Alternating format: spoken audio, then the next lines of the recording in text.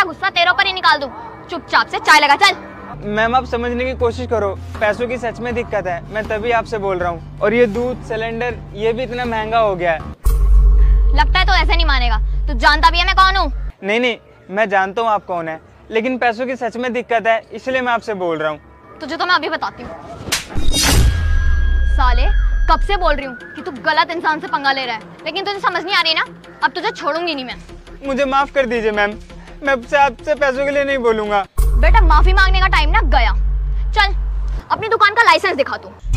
Licence कौन सा licence अच्छा तो दुकान का लाइसेंस नहीं है लेकिन तू यहाँ पर दुकान खोल के बैठा है। बेटा अब तो तेरी दुकान जब्त होगी और तुझे अरेस्ट करूँगी वो अलग नहीं नहीं मुझे माफ़ कर दीजिए मैम मैं अब आगे से आपसे कभी पैसों के लिए नहीं बोलूँगा।